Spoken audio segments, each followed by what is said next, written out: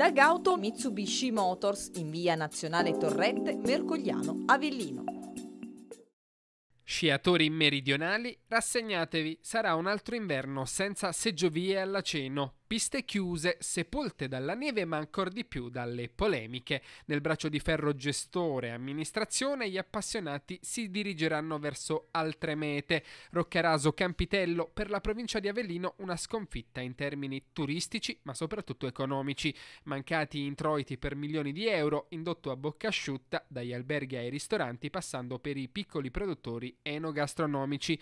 Ma come si è arrivati a tanto e soprattutto quali prospettive, quanti anni ancora dovranno passare per rilanciare il turismo sull'altopiano per l'intero inverno? Ne parleremo a Ride come tutti i mercoledì in diretta dalle 21.30 con ospiti in studio e collegamenti esterni.